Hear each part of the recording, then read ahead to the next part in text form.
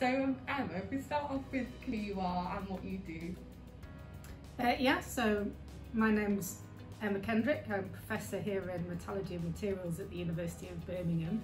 Um, my area of research is in energy materials, particularly batteries, and we have a group who investigate everything to do with sustainability in batteries from materials right through to um, lifetime and performance and, and recycling. What is it you find most interesting about working in the field of batteries? I mean, I like it because it is so, there's so many different disciplines. Um, I really enjoy the electrochemistry and understanding kind of the fundamentals of the electrochemistry and applying that to the, the materials, the batteries and the cells. Um, and I think some of my more recent kind of quite really enjoyable aspects of working with some of the other Faraday community. So we work, we have projects already that are quite wide over the UK, but we get to work with a lot of different people from different universities. Uh, and that's really quite enjoyable seeing how other people work too.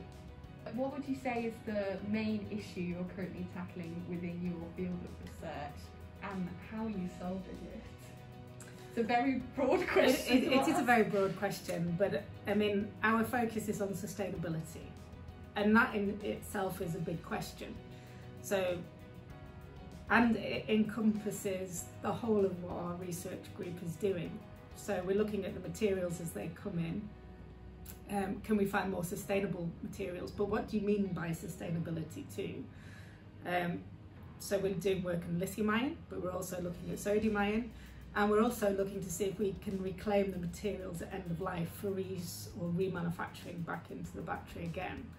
But it, it's not just about the materials, it's about how the cell is used, uh, whether you can prolong the lifetime of the cell.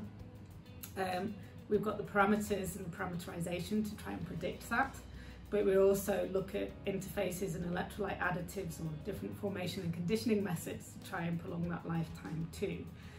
So I think that's the answer, which would be sustainability.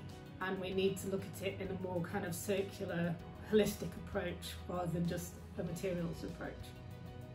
But what do you do in your free time?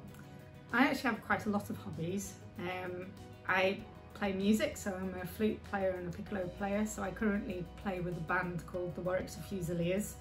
Um, unfortunately, we haven't had many performances of late because of COVID, but hopefully that will start to improve. Uh, that is quite funny because we have a full uniform and, and, a beret with a feather in the hat. So, yeah.